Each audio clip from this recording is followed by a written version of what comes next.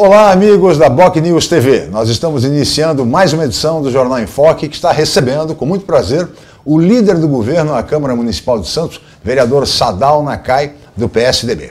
Eu gostaria de começar essa entrevista, vereador, querendo saber do senhor a sua expectativa, a sua avaliação para o ano que vem, o ano de 2016, um ano difícil, e, sobretudo, os investimentos no município, tendo em vista cortes orçamentários no orçamento federal, contingenciamento de recursos.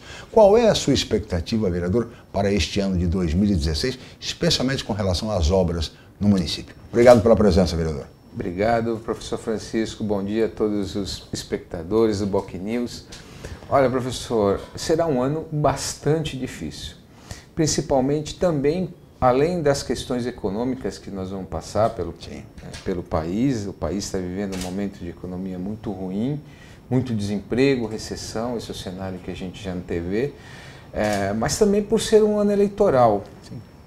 E isso, apesar da gente ter aprovado um orçamento que gera uma expectativa de arrecadação e, e, uma autorização de despesa na ordem de 2 bilhões e meio, muito desse dinheiro são recursos de transferência, como bem você falou.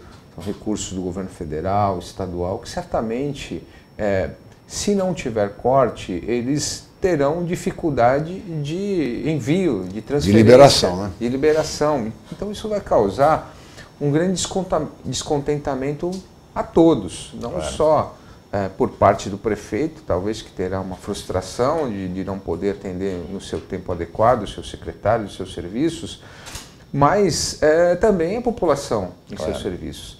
Então, é, entendo que o governo já está antevendo de uma certa forma, está usando os instrumentos que tem à disposição, através é, de uma preparação é, de contenção de recursos, é, de, de, envio de legislações que possam possibilitar a é, utilização, a margem de manobra Sim. que nós aprovamos se manteve, 20% do orçamento. Então, isso dá possibilidade dele é, enviar o dinheiro para os programas mais essenciais. Então, isso Saúde, educação, assistência social. É, é, é por exemplo, eu, na, na, minha uma parte do que eu tentei colaborar ainda falta, por exemplo, uma definição por parte da Câmara Municipal.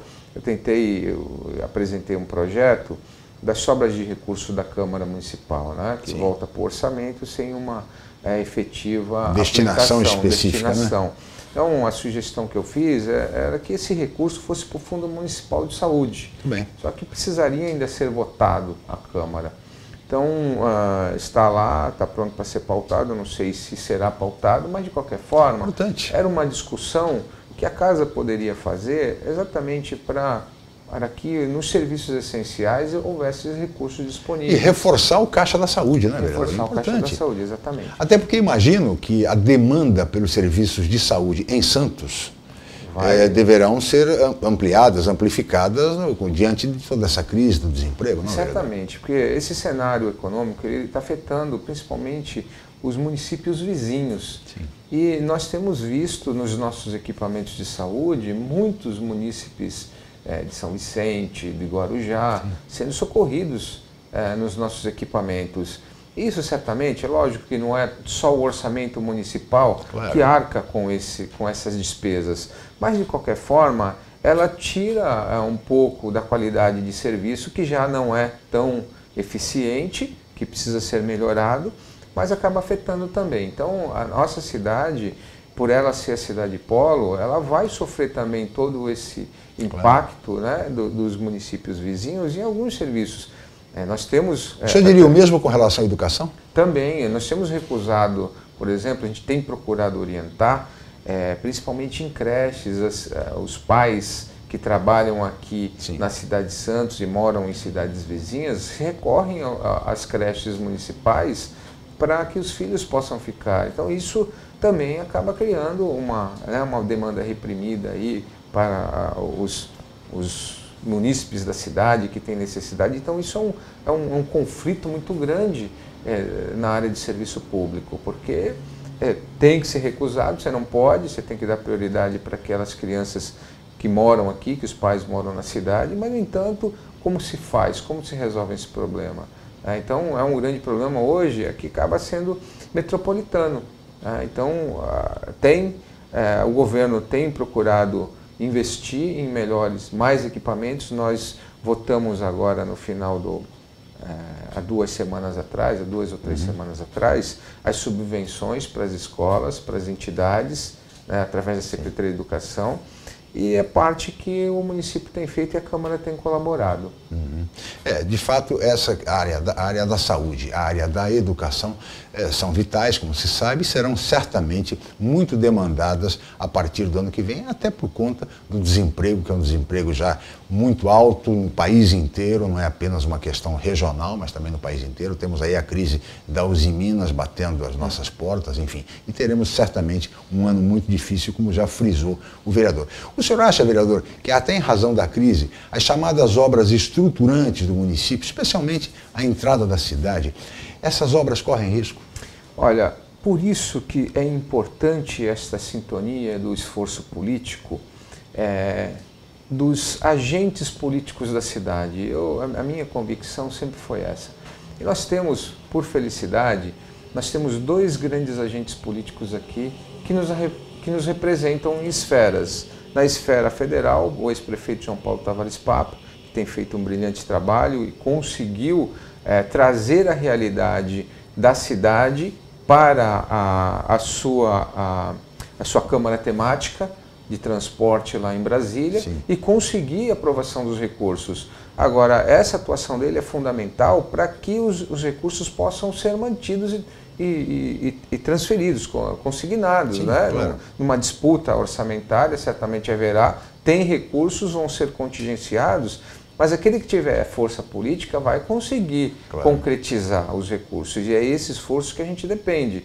É, temos também na esfera do, do governo estadual o vice-governador, claro. o Márcio França, que conhece bem a realidade. E por, por uh, também por, pelo governador ser do PSDB, ele sabe da necessidade para a economia do país, que é a, a melhora do, do acesso ao claro, porto. É indispensável. É, então, né, é indispensável e nós temos porque ela deixa de ser uma obra regional para ser uma obra nacional. nacional com certeza. Dizer, estratégica para o país. É, é preciso de, isso ficar muito claro. Né?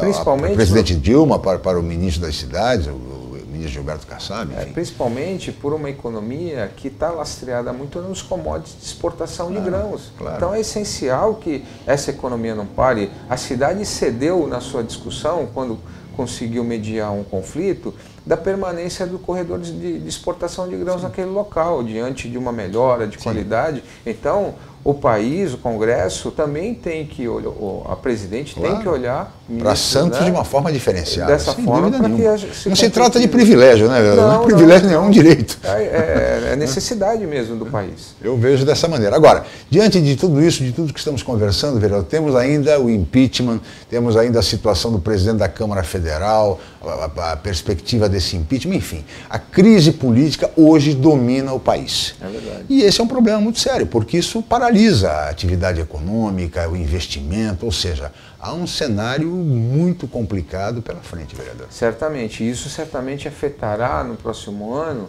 as eleições locais também. Sim. Isso reflete, não tem dúvida que é, o agente político, aquele que se expõe à vida pública, é, principalmente no nível municipal, é o mais afetado, porque a população olha, recebe as informações em tempo real, não consegue fazer a, a, o discernimento de separar o que é bom, o que é ruim. Na verdade, a mensagem que é colocada é que todo político é corrupto, todo político está envolvido é assim, em alguma né? negociata. É assim. E esquece muitas vezes que a condução de decisão no seu cotidiano está na mão da política. Sem dúvida. É, então, a importância da, da, da, do balizamento da informação, da busca da informação correta, da avaliação, será importante para que o próximo ano os grandes projetos da cidade consigam ser discutidos e concretizados, discutidos e concretizados. Sem né? dúvida nenhuma.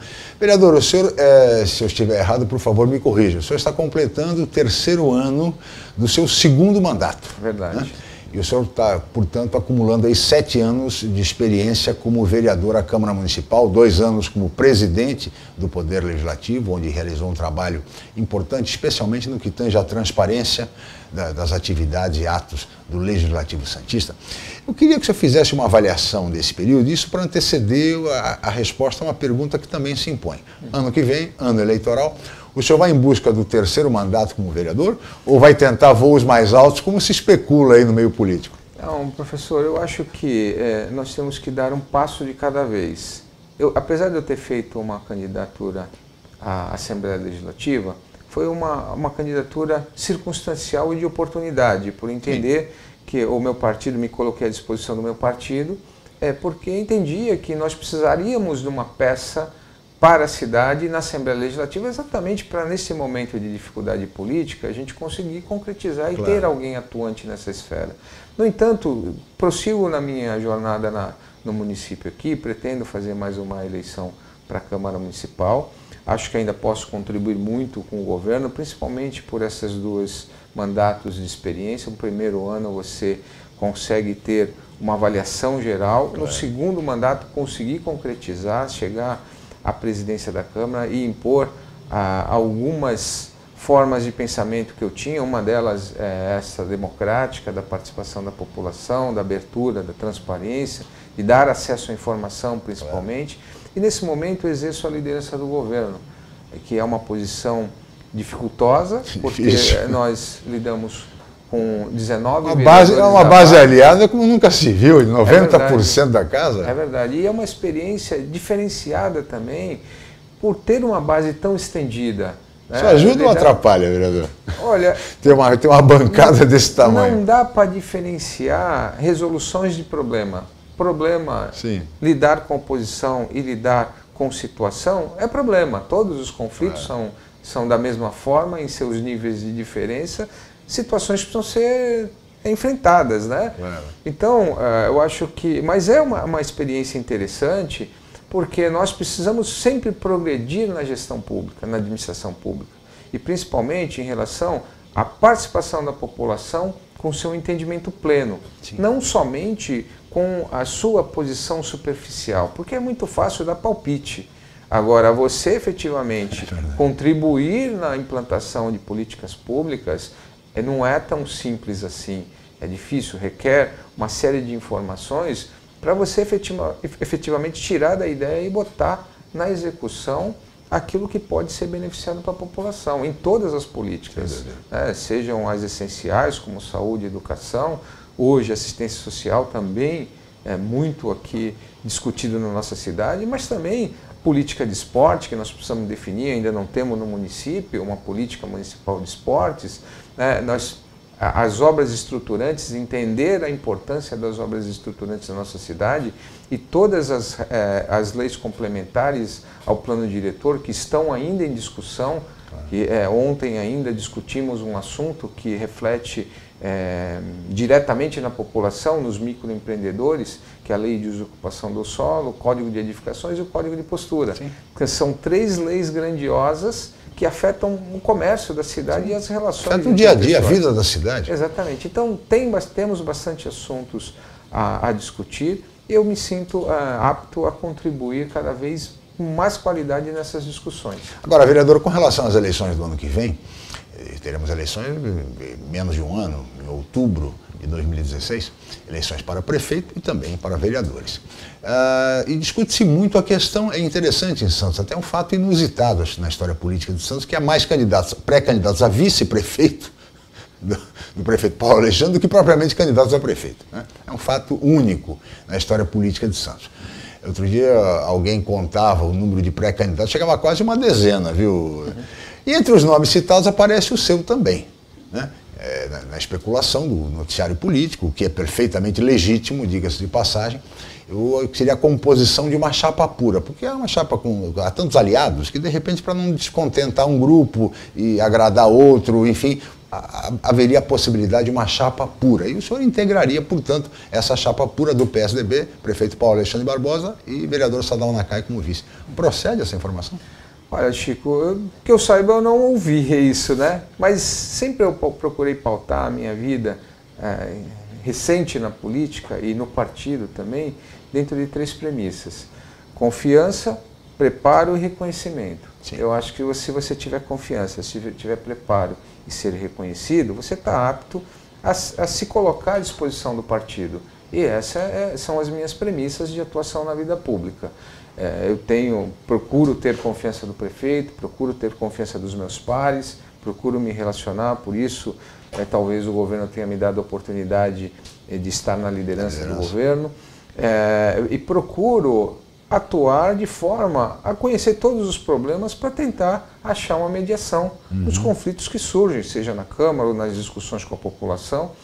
É, e se isso, é, primeiramente, meus objetivos são em relação a fazer mais um mandato para contribuir com a minha cidade. Uhum. Se o meu partido ou o prefeito achar que deva me trazer para uma situação de mediação de conflito, eu me coloco à disposição, não há nenhum Sim. problema. Mas não é. Não descarta a possibilidade, portanto. Mas não é meu objetivo Entendi. principal. Meu objetivo principal é estar dentro da vida pública, dentro dessas premissas, né? Uhum. Em confiança com a população, preparo que eu preciso ter para lidar com os problemas e com o reconhecimento que se faz através do processo eleitoral. Falando em reconhecimento, é, vereador, o senhor é uma liderança importante do PSDB, dirigiu a Câmara de Santos, é líder do governo. Mas a, a, o governador Geraldo Alckmin vem enfrentando algumas dificuldades.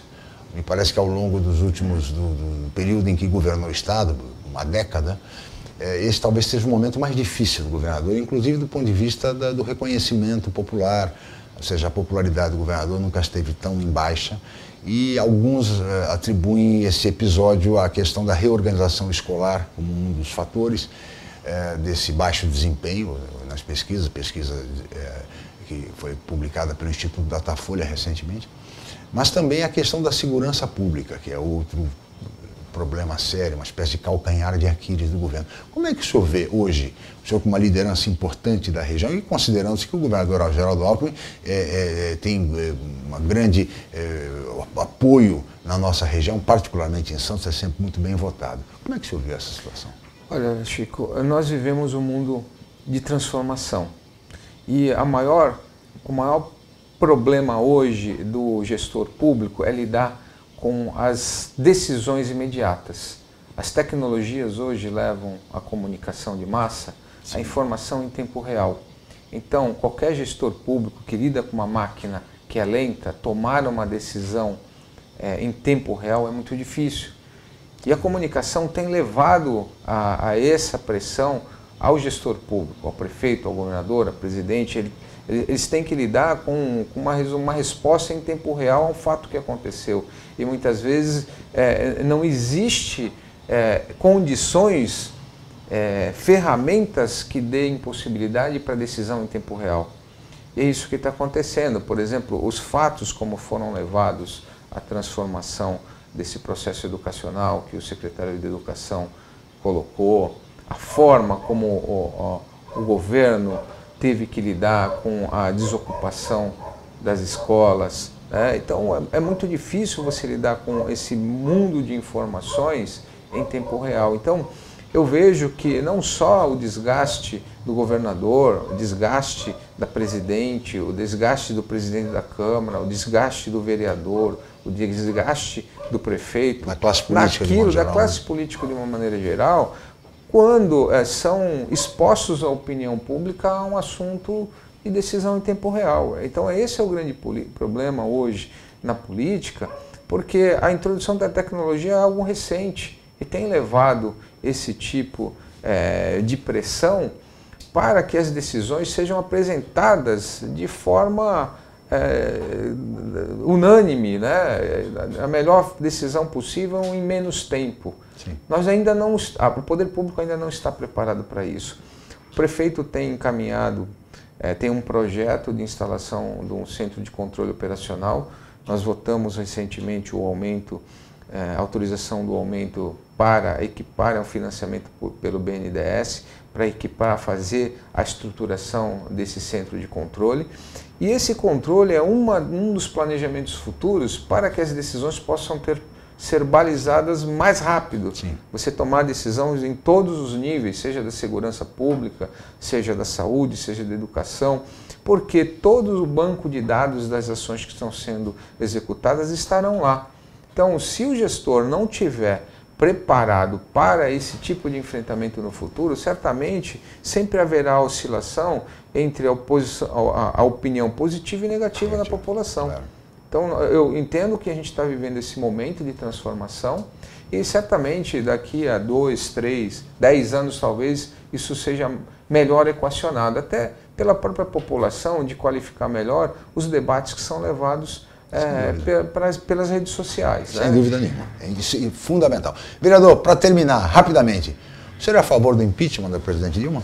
Olha, é, eu posso até contrariar algumas ações do meu partido, mas eu não entendo que seja sadio nesse momento o impedimento da presidente. Eu acho que é uma discussão que vai ser arrastada, vai desgastar muito politicamente, talvez para criar uma pressão política para que haja um consenso, uma pactuação na classe política e assuma a presidência ou continue a presidência de forma que se consiga levar os, o país para um rumo que deve ser levado, que é o rumo é, do controle do político, do equilíbrio fiscal, da economia uhum. é, correta, né? Não, não, precisamos ser populistas de, de, de, achar que não vai ter aumento de inflação, não vai ter aumento de despesa, mas que seja isso pactuado por toda a nação. Eu, nós temos que brigar por isso, pela pactuação política, para que seja a, a melhor forma de conduzir, seja pela presidente ou por qualquer outra pessoa que venha assumir a condição do país. Possamos afinal, é buscar a retomada do desenvolvimento econômico com a consequente geração de empregos, hoje prioridade absoluta no país. Vereador Sadal Lacai, chegamos ao final. Teríamos muito mais a conversar, o senhor sabe, mas chegamos ao final. Eu gostaria de agradecer muito a sua presença, a sua participação aqui no Jornal em Foque, nessa nova plataforma, pela internet, pela Boc News TV. Muito obrigado. Vereador. Eu que agradeço, professor, por essa oportunidade. Sempre é, um, é, é, muito prazeroso conversar política com você. Muito obrigado, vereador Sadal Nakai, líder do governo, à Câmara Municipal de Santos. Nós ficamos por aqui e voltaremos em breve com mais uma edição do Jornal em Foque. Mais uma vez, muito obrigado a todos e até lá.